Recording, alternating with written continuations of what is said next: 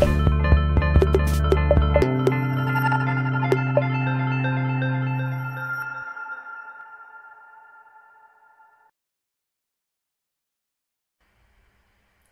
Gagi Đugani je bio kod drveta mudrosti i razgovarao o svom odnosu sa Erminom Pašović.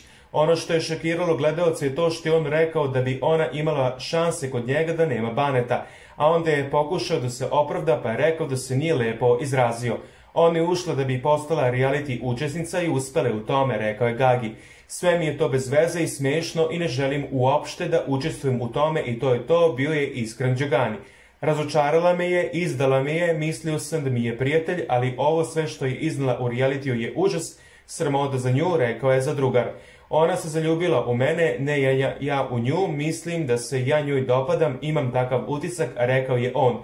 Da li on ima šanse kod tebe, Gagi, pitalo ga je drvo. Pa da nema baneta, imala bi šanse kod mene, šokirao je Gagi.